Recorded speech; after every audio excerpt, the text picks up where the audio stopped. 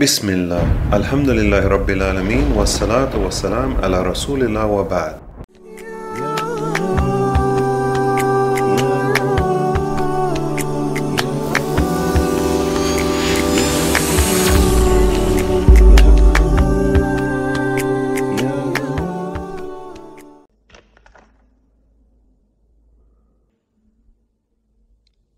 Muhammad, messenger of God? Who gave him this authority? God sent Muhammad as a mercy to mankind. The Caesar Heraclius was the ruler of the Eastern Roman Empire from 610 to 641 of the Christian era. His reign coincided with the advent of the Prophet Muhammad sallallahu alaihi wasallam. He saw Islam grow and the Prophet complete his mission and die aged 63. He is known for questioning Abu Sufyan, a non-Muslim at the time, to check if the Prophet ﷺ was real. He even asked his subjects to accept Islam, but seeing their outrage, he downplayed it by saying he was just testing their faith. Even though Heraclius lived through all of that, and even received two letters of invitation to Islam from the Prophet ﷺ, due to greed and lust for power, he didn't convert. He ruled for around a decade after the Prophet ﷺ had died. But the Prophet's dying must have deeply affected him, because he had some burning questions which he could no longer ask him. Instead, Heraclius sent his questions to the followers of Prophet Muhammad ﷺ, the Sahaba. He was probably in deferent awe in the same way as Abu Dar anhu, who said, The Messenger of Allah ﷺ left us behind, but there is no bird that flaps its wings in the sky except that he gave us some knowledge about it. After the Prophet ﷺ had passed away, Heraclius wrote a letter to Caliph Muawiyah in Damascus and said, If there remains among them anything left of prophethood, then he will inform me about whatever I ask them. So he wrote to him, inquiring about three unusually specific things the Milky Way galaxy, about rainbows, and about a place on which the sun has not shone except for an hour. Muawiyah anhu asked the Sahaba to respond. Abdullah ibn Abbas anhu, the Prophet's cousin, was chosen. In a Mawquf report with Marfu Hukman, meaning it stops at a Sahaba yet contains beliefs derived from the Prophet ﷺ, from At-Tabarani, Ibn Abbas anhu wrote back, The rainbow is a protection for the people of the earth from flooding, and the galaxy is a door to the heavens, from which the earth is separated. As for the place on which the sun has not shone except for an hour of the daytime, it is that which lies underneath the sea that was parted for the children of Israel. Ibn Abbas's response was breathtaking, and when Heraclius received it, it must have dawned on him that Muhammad was indeed a true prophet. Now, I will try to break down the response to Heraclius's burning questions through the lens of Islam and derive some benefits. Firstly, the rainbow is a sign to show Allah's mercy after the great flood of Noah, to assure mankind that they will never be totally destroyed by a worldwide flood ever again. In a weak narration in Adab al-Mufrad, Ibn Abbas anhu said, The rainbow is security from being destroyed by flood after the people of Noah alayhi salam. In the Judeo-Christian tradition, we find in the Bible, in Genesis chapter 9, verses 12 to 15, And God said, This is the sign of the covenant I am making between me and you and every living creature with you, a covenant for all generations to come. I have set my rainbow in the clouds, and it will be the sign of the covenant between me and the earth. Whenever I bring clouds over the earth, and the rainbow appears in the clouds, I will remember my covenant between me and you, and all living creatures of every kind. Never again will the waters become a flood to destroy all life.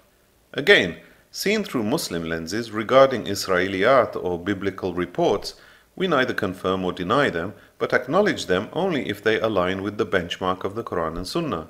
In this case, the rainbow sign seems okay, but to say that God needs to see a rainbow to remember his promise disrespectfully paints him as forgetful, needy, and unaware.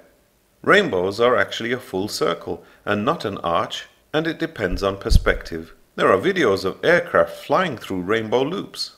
The symbolism of a circle covered in seven layers of color looks like rings of global protection. Apart from the tropo, strato, meso, and thermosphere that deflect harmful rays and burn up asteroids, The rainbow visually shows seven heavens surrounding a spherical earth. But where did the water that caused the flood come from? Linked to the second of Heraclius's questions, the Milky Way galaxy as a gate or doorway to the heavens was also mentioned by Ali radiallahu who said, It is the water trough, or loop of the bag, from which the heavens open up, flowing water. It seems that it is the source of the water rather than earthly clouds that flooded the entire world during Noah's deluge. Most astronomers now believe that asteroids carried the primary or primordial source of water to Earth. In another authentic narration, Ibn Abbas anhu said, The Milky Way is the door of the heavens and forms a furrow through it. The opening, therefore, is a distinct furrow or channel that runs between our universe and the next. It is interesting to note that when the Prophet ﷺ went up to the heavens on his miraculous night journey and ascension, Al Isra wal Miraj, that both aspects of a gateway and sources of earthly water were witnessed. It seems that there is a portal within the Milky Way that separates our time space continuum with that of the heavens. In Bukhari, the angel Gabriel took him to the heaven of the world and knocked on one of its doors. There he met with angelic gatekeepers called the dwellers of heaven, who confirmed the identity of Prophet Muhammad before allowing him to pass to the higher heavens. Also, whilst he was in the nearer sky in the heavens, he saw two rivers flowing out of it. And on asking what they were, he was told, These are the sources of the Nile and the Euphrates, further indicating the origins of the primary water on earth. Five hundred years' travel separates each heaven. The ascension of Prophet Muhammad is not unique, as biblically others such as Enoch, Elijah, and Jesus, peace be upon them all, have all been lifted into the heavens. Muslims believe that Jesus is alive in the second sky, in stasis, and will return to earth. Astronomers have also observed a supermassive black hole called Sagittarius A star near the Milky Way center, Theories speculate what lies beyond the event horizon, whether white holes, wormholes, or portals to other dimensions.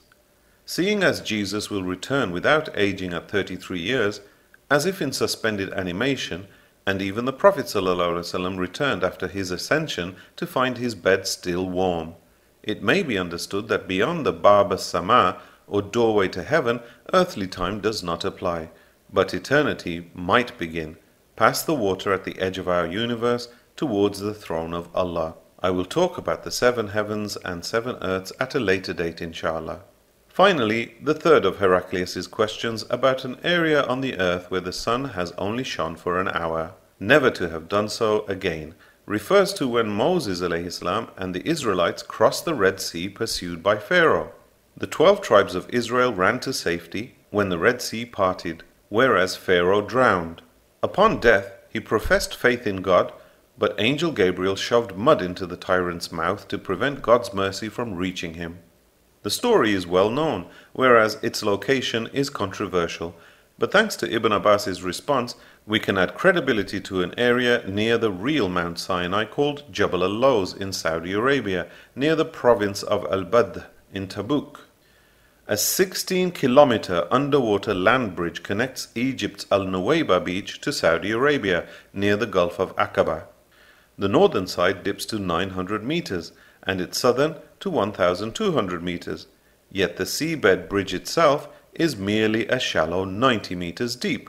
According to Healthline.com, the average time it takes to run 16 kilometers for men and women aged 40 to 44 is 53 minutes and 11 seconds and 1 hour and 2 minutes and 37 seconds, respectively. The sun shone on the seabed for a solar hour, while the Israelites crossed to safety in an hour. Traces of the Israelites remain in the Tabuk region near an area called Neom that is being developed for Saudi Arabia's Vision 2030. The Prophet ﷺ foretold of Tabuk, If you live long enough, you will see much greenery here. So there you go. Heraclius, the leader of the Western world, got his answers, but having knowledge is useless unless you act on it with wisdom and benefit from it. The Caesar blew his chance. You, though, dear viewer, can embrace Islam. Of course, many more benefits can be derived from the fascinating narration of Ibn Abbas, anhu, but I hope that this has been an enlightening episode into viewing the world as seen through Muslim lenses and the desperate need for creed.